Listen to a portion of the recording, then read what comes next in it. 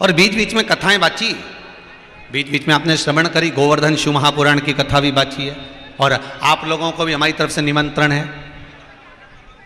गिरिराज जी की परिक्रमा का, कितनी तारीख को है? पाँच जनवरी को गिरी गोवर्धन नाथ जी की परिक्रमा जतिपुरा से सुबह नौ बजे उठेगी। एक ही दिन की परिक्रमा रखी, केवल पाँच जनवरी की।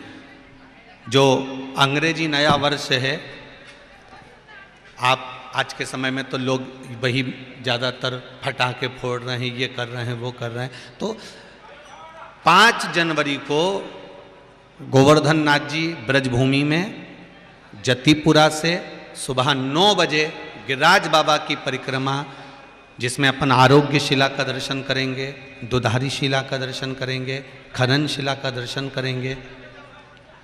गिरिराज बाबा के उस 21 किलोमीटर में सात कोस में कहाँ कहाँ कौन कौन सी कंदरा है, कौन कौन सी शिला है, उसका दर्शन करते हुए गिरिराज बाबा की सुंदर पुनित पावन गिरिराज जी की सात कोस की परिक्रमा लगाई जाएगी।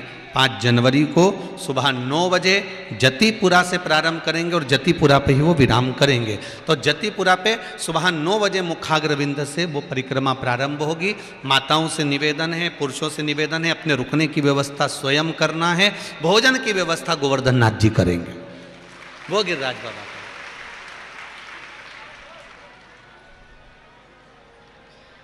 और मैं बहुत बहुत साधुवाद दूँगा फरीदाबाद वाली दीदी को।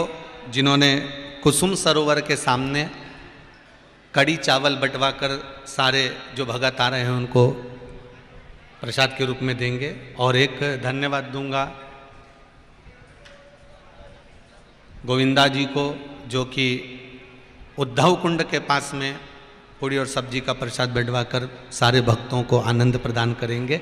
और जो जो भगत लोग सेवा दे रहे हैं, उनको सबको साधुवाद केवल एक दिन की परिक्रमा है। सुबह नौ बजे माताएँ पीली साड़ी पर रहेंगी, पुरुष लोग सफ़ेद कपड़े में जो भी हो, कुर्ता पजामा हो या पेंट शर्ट हो, सफ़ेद हो और गले में पीला रुपट्टा हो। बस पीला एक उपरना हो और आप सब आमंत्रित हो। सुबह नौ बजे से वो परिक्रमा, गिरिराज बाबा की आराम से अलमस्त होकर ढोल, बैंड, बाजा, साथ में मैं धन्यवाद दूँगा महांकल मंदिर के पुजारी श्री दिलीप गुरु जी को, जिन्होंने उज्जैन से डीजे पहुँचा रहे हैं गिरिराज परिक्रमा के लिए, मथुरा वृंदावन के लिए। बहुत बहुत साधुवाद इंदौर के भी भक्तों को, जगजीवन रामनगर के दुर्गेश खंडेलवाल जी को, विशाल जी भांगोटा वालों को, महाकाल को, उनको भी धन्यवाद दूँगा, जो 25 ढोल गिरिराज जी भेज रहे हैं सुंदर परिक्रमा करने के लिए।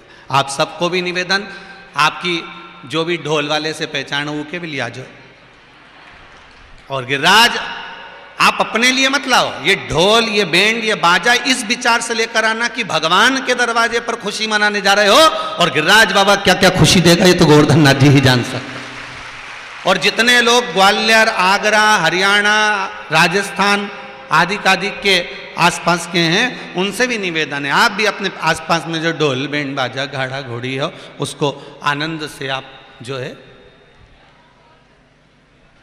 उसको आनंद के साथ आप, भाव के साथ में आइए।